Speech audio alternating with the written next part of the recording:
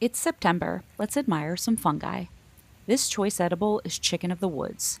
These large clusters of orange shelf mushrooms have pores on the underside rather than gills.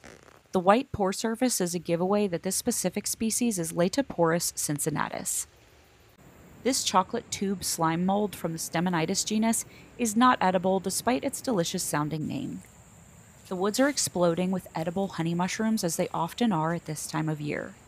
There are several species of honey mushrooms in North America, but today I'm seeing mostly the ringless honey mushroom, Desarmillaria caespitosa. Ringless honey mushrooms are characterized by their honey to brown colored scaly caps.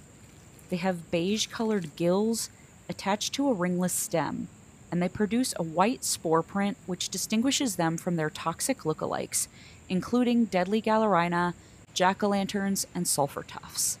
Let's pause to appreciate this eastern garter snake.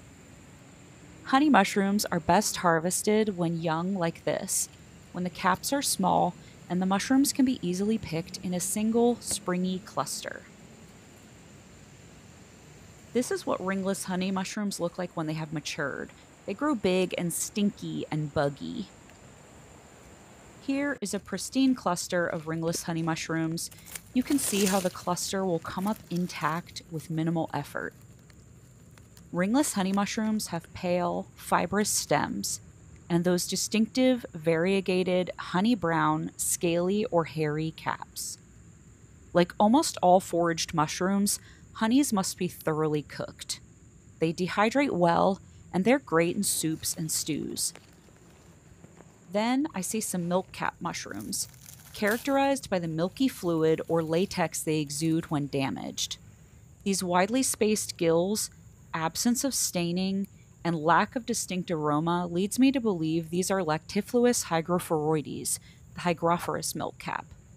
Please remember to forage responsibly and be absolutely certain on identification before consuming anything.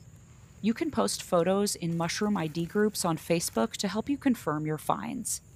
I look forward to sharing more about edible mushrooms and other foraged foods in the future. See you all next time.